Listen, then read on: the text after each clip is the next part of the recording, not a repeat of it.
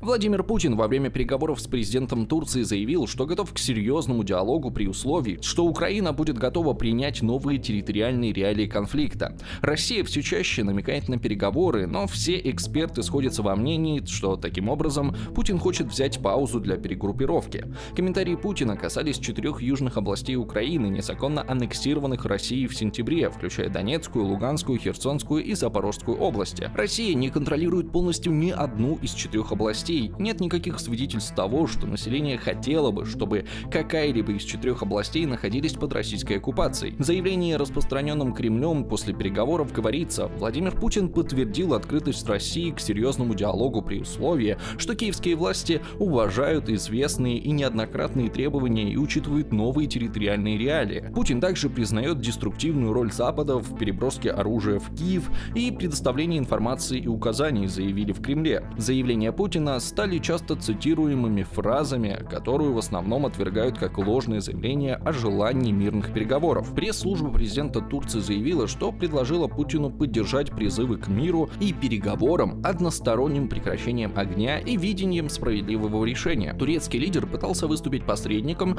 чтобы положить конец конфликту, а Турция помогла заключить соглашение с Россией и Украиной об облегчении экспорта зерна. Ожидается, что глава турецкого государства поговорит с президентом Украины Украины Владимиром Зеленским. Еще один призыв к миру прозвучал от патриарха Кирилла, главы Русской Православной Церкви, который призвал все стороны соблюдать режим прекращения огня во время празднования православного Рождества на этой неделе. Почти 11 месяцев назад президент России Владимир Путин отдал приказ о вторжении в Украину, заявив, что прозападную страну необходимо демилитаризовать и денацифицировать. Соединенные Штаты и западные союзники раскритиковали военные действия и оказывают финансовую и военную помощь, а также ввели несколько несколько раундов санкций против России. Франция поставила Киеву современную артиллерию, бронетехнику, зенитно-ракетные комплексы и системы ПВО. Соединенные Штаты поставили Украине более 2000 боевых машин, в том числе 477 машин с минами-засадами и более 1200 «Хамвис». В декабре президент США также объявил, что они впервые направят в Украину ракетную батарею «Патриот», самую передовую зенитно-ракетную систему, которую Запад поставил для отражения российских авиаударов. Путин отклонил заявление заявление о системе вооружений, заявив, что они устарели и что российские ракетные системы смогут их сбить.